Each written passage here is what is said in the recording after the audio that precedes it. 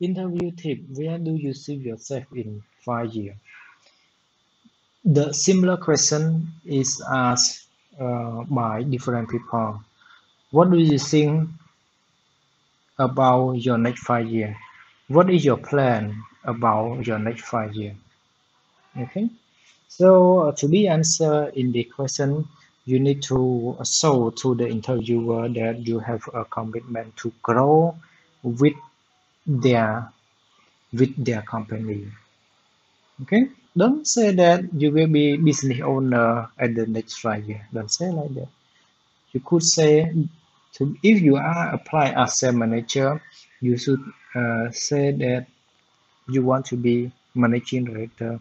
You want to be sales director in there.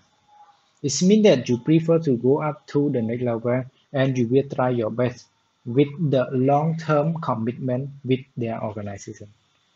Okay, so if you are in one level, you need to expect to get to another level with the long-term career in their organization.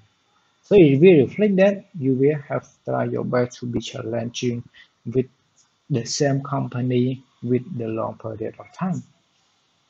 That is in this perception you will be seeing like that. Even though you have any plan, but you need to show the commitment to them.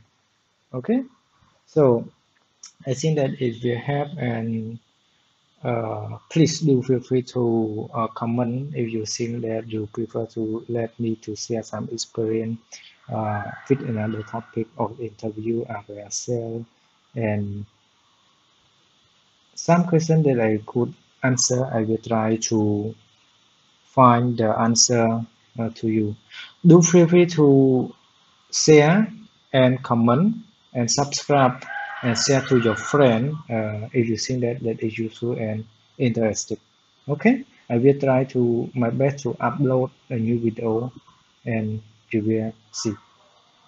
Thank you